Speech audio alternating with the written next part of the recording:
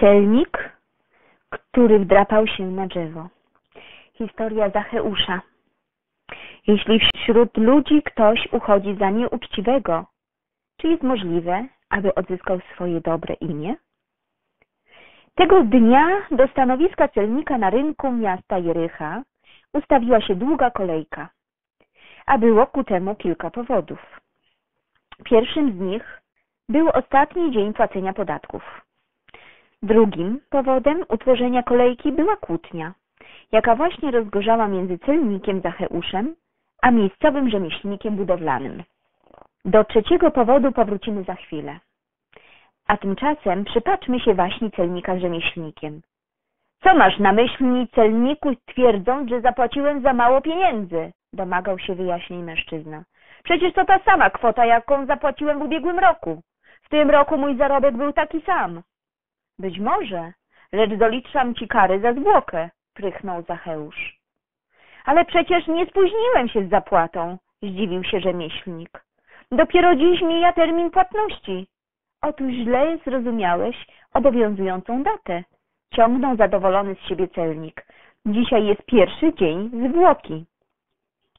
Ty łotrze! wybuchnął rzemieślnik. Dobrze wiesz, że to niecna praktyka. Oszukujesz ludzi, jesteś z tego znany w całym kraju. Oj, chyba będę musiał wysłać cię do więzienia, zagroził Zacheusz. Spójrz, strażnicy już po ciebie idą. Celnik Zacheusz pstryknął palcami, a dwóch rzymskich żołnierzy natychmiast ruszyło w stronę podatnika. Ten spojrzał na nich przerażony i w końcu, nie mając wyjścia, rzucił celnikowi na stół kilka dodatkowych monet.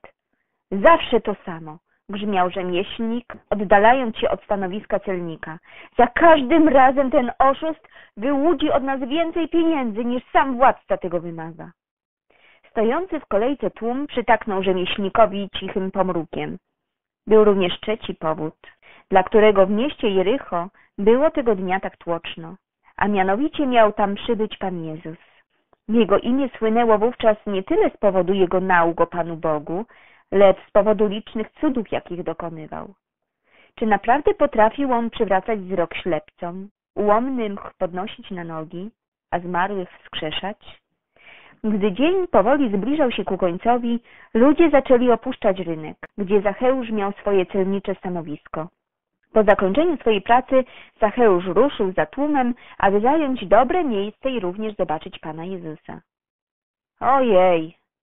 Okazało się, że nie było to takie proste, ponieważ Zacheusz był bardzo niski i niestety nic nie widział z pleców innych zgromadzonych osób. Zaczął więc przedzierać się wśród tłumu. Oj, to bolało! zawołał, gdy ktoś uderzył go łokciem w twarz. Przepraszam, powiedział rzemieślnik budowlany, który stanął tuż przed Zacheuszem, zasłaniając mu przejście. Gdziekolwiek Zacheuszowi udało się przedrzeć w tłumie, rzemieślnik już był przed nim, a pozostali tylko drwili z celnika i z tłumu dochodziły do jego uszu szydercze słowa Dobrze mu tak, niech ma za swoje. W pewnym momencie doszło do przepychanki i Zacheusz został wypchnięty z tłumu na bok, tuż pod drzewo rosnące przy drodze. No właśnie, drzewo. Zacheuszowi przyszedł do głowy pewien pomysł. Przecież gdy był małym chłopcem, zwinnie wspinał się na każde drzewo w okolicznych sadach.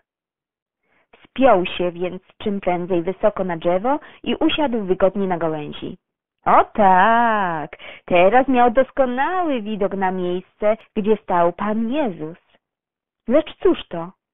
Pan Jezus patrzył prosto na Zacheusza siedzącego na drzewie. Pomachał do niego dłonią i powiedział takie słowa. Zejdź z drzewa, Zacheuszu. Słyszałem o twoim pięknym domu i bardzo chciałbym cię w nim odwiedzić.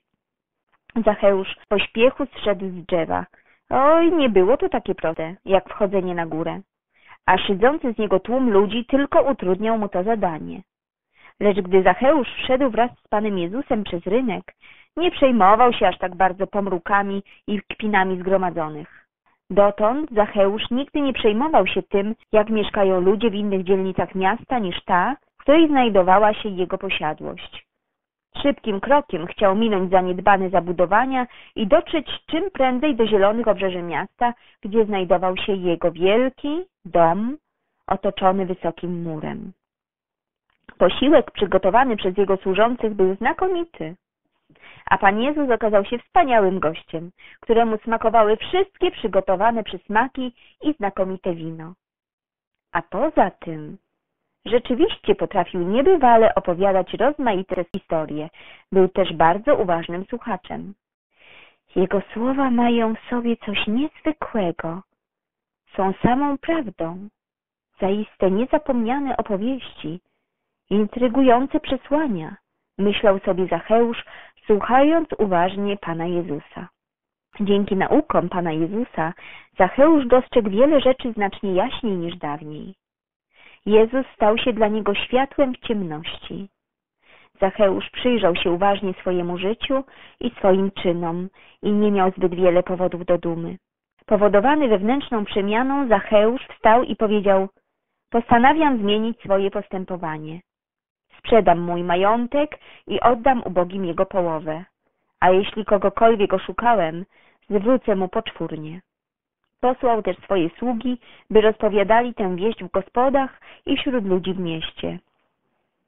Pan Jezus był naprawdę uradowany, widząc przemianę celnika, głosili słudzy. Powiedział, że była to jedna z chwil, dla których przyszedł On na ten świat i które nadawały sens Jego naukom.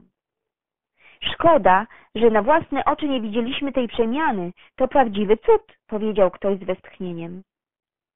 Rzemieślnik budowlany siedział właśnie w tawernie i słuchał słów o celniku, po czym odłożył kubek na stół.